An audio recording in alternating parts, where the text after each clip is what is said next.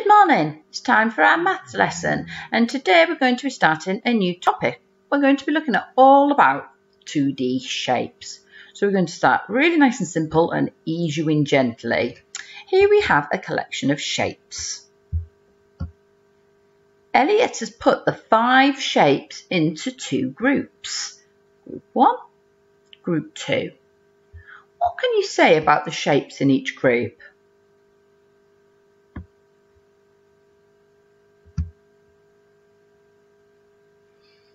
Okay, hopefully, let me just skip back to that page. Hopefully he'd identified the fact that he'd placed this type of shape together and this type of shape together.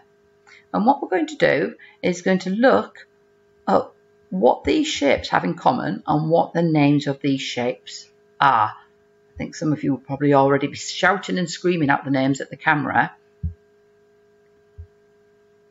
Shape 1. How many sides does this shape have? So I can clearly see one, two, and three. Shape two looked like this, didn't it? That was in here. And it had lots of things the same about this shape.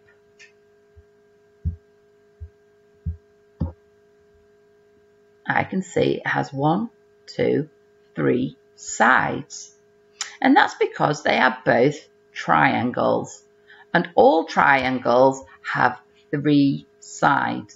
In fact, the word tri there means three. This is square. I'm sure we can all identify a square already. It has four sides. A square is very special because you'll notice something about those sides the length is all the same. Here is a rectangle. How many sides does that rectangle have?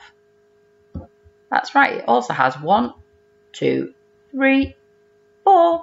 It has four sides. All rectangles have four sides. So, all I would like you to do today for your guided practice is to identify which of these shapes are a triangle, which ones are a square, and which ones are rectangles. And you just simply need to then record the number of sides that they have. I put those spellings there to help you. Okay, so I'm going to ask you to pause the recording now and work through the guided practice. Okay, you should all have your answers by now. So shape A has four sides and they are all the same length.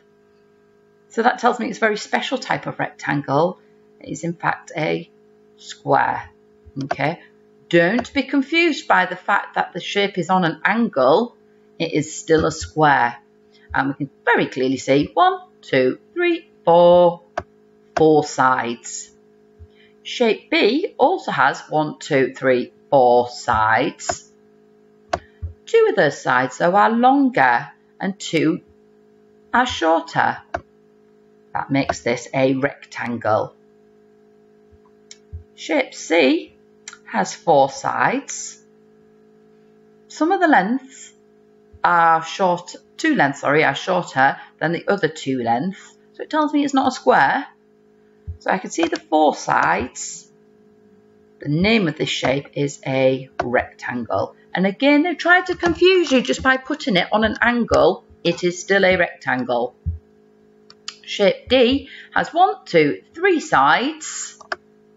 And if you remember, we said any three-sided shape is a triangle. Shape E also has three sides, which means even though it looks different to D, it is also a triangle. And shape F one, two, three sides.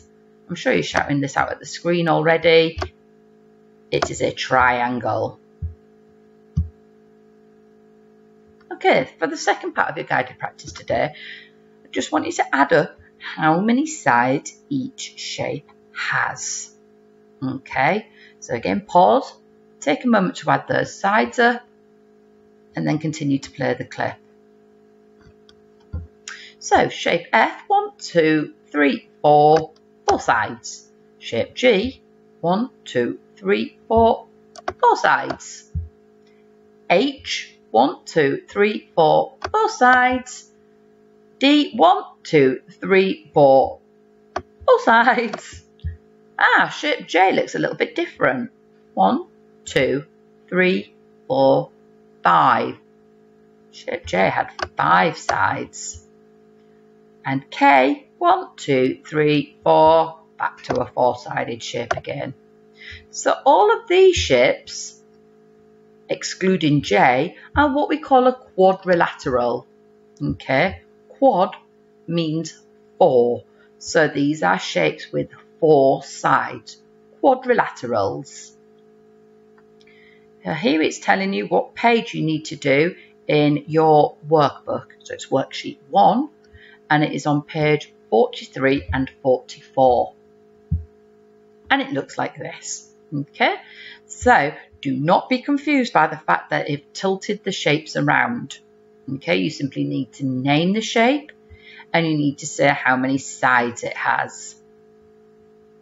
If you need to, you could click back and pop the spellings up from the previous page to help you.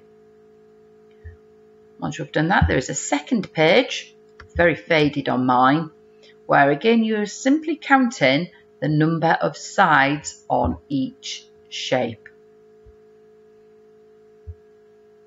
Today, because it's nice and straightforward, I would like ask you to pause the video, go through your worksheet, complete it, and then I'm going to work through the solutions with you. Okay, so you should have completed your worksheet now. So shape A, I can very clearly see has four sides, two are longer, two are shorter. That must mean it's a rectangle. And of course that has four sides.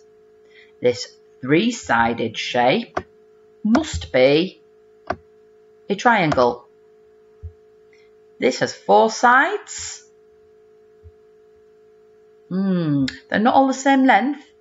So I'm going to say it's a rectangle. Here I can see three sides. So it's definitely a triangle. Now this one confuses people sometimes, which is why I wanted to go through the answers today. One, two, three, four sides. And they're all, if you look carefully, the same length. Now I know some people might think this is a diamond, but it is in fact just a square. All they have done is rotate the square around. Can you see the square? And we know that has four equal sides. On worksheet part two, I can see one, two, three, four sides in that shape. One, two, three, four. One, two, three, four, five. Here we have one, two, three, four. Can you remember what we said all four-sided shapes were called? They are quadrilaterals. And finally, we have a one, two, three, four, five, six-sided shape. Hope you enjoyed that and we'll tune in for some more maths tomorrow. Goodbye.